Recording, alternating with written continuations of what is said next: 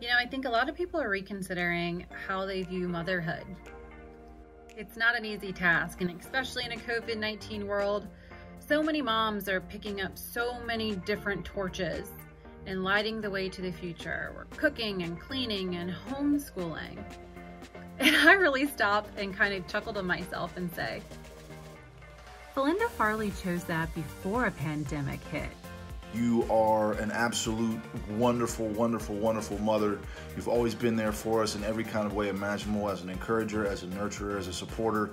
Uh, nobody has the capacity to love people like you.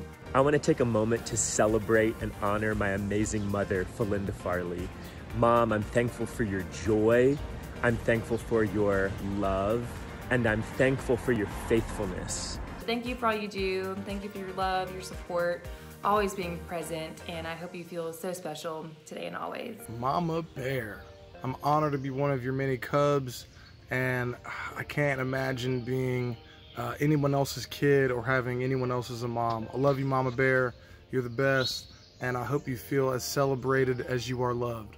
Hey, hey, it's Nathan. Uh, I uh, just want to give a shout out to Falinda Farley, uh, aka my mom. It's one of the things I'm very thankful for, especially in these crazy times is you teaching me how to cook. Happy Mother's Day, Mama Bear. Words can express how much you mean to me, how much you mean to all of us. You've been the champion of our lives. You've been the prayer warrior of our lives. You've been the faithful, loving, good wife, good mother, incredible mother. Uh, I can't put into words how much you mean to me, what you mean to all of us. The Lord is looking out for all of us when He made you our mom. Uh, it gave us an incredible advantage in life to have somebody like you in our corner. I hope you have an amazing Mother's Day. You're the greatest mom in the world. There ain't no doubt about it. I'll check anybody who has anything to say about it. I love you to death. Happy Mother's Day. You're amazing.